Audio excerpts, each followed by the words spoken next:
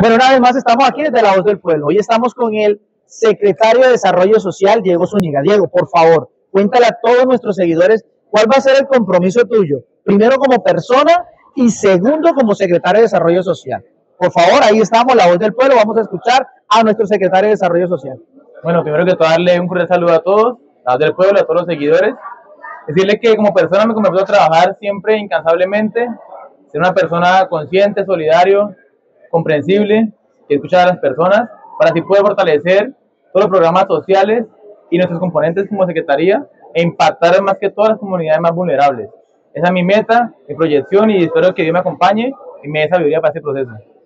Diego, te agradezco mucho. Vamos a estar muy pendientes eh, de corazón. Nosotros como representantes de la comunidad eh, deseamos de corazón muchísimos éxitos y que por favor lo que todos están diciendo la palabra servir se cumpla en este mandato. Así será, muchas gracias por la entrevista. Estamos para servir. bueno, estaremos pendientes. Vamos a estar presentando otros secretarios más. Muchísimas gracias. Estaremos con otros secretarios más.